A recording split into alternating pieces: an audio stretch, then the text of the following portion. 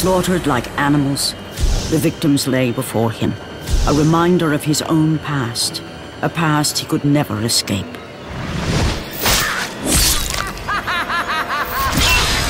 His only solace was the sea, endlessly sailing from one harbor to the next in service to the gods of Olympus. All his hopes rested with them. For no matter how much wine he consumed or how many women he took to his bed, nothing on earth could rid him of the horrors that plagued his mind. Athena! Ten years, Athena.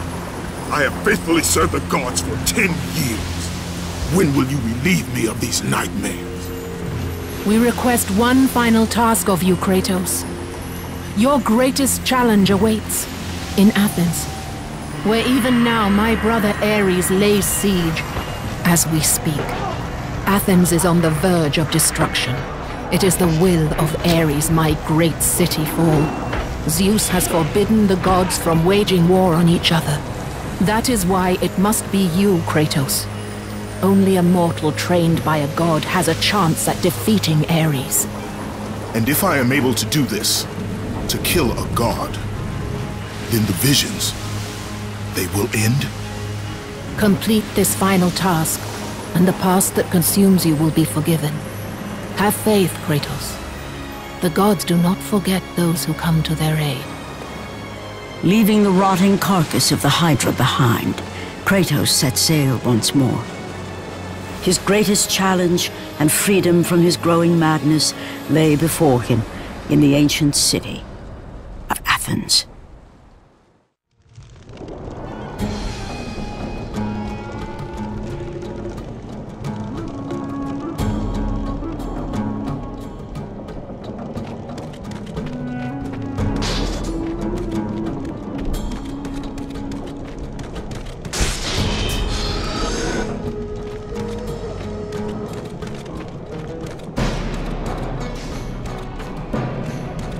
Come back to bed, Kratos. We're finished.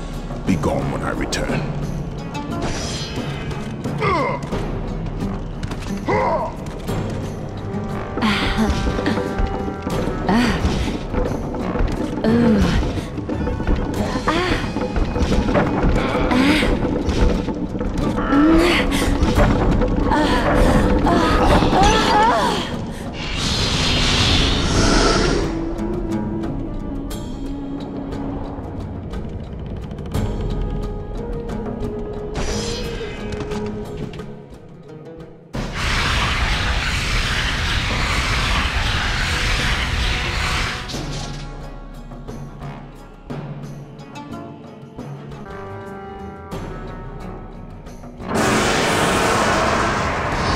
The rage of the gods drive your blades, Kratos.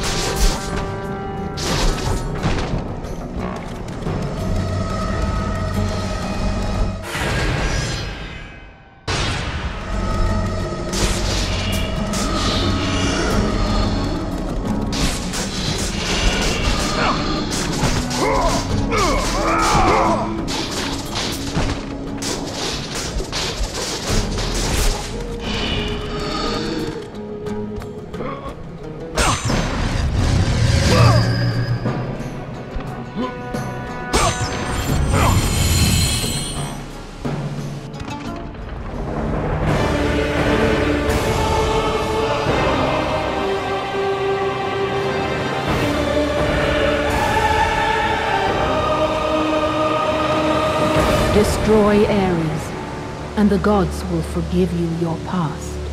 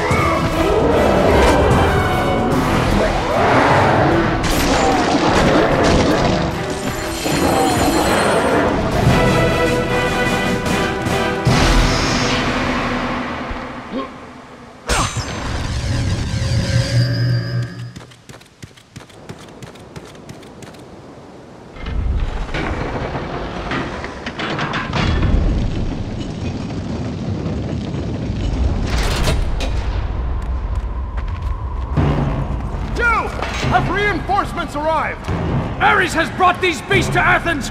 Without help, the city will fall! Gates destroyed! You'll have to find another way.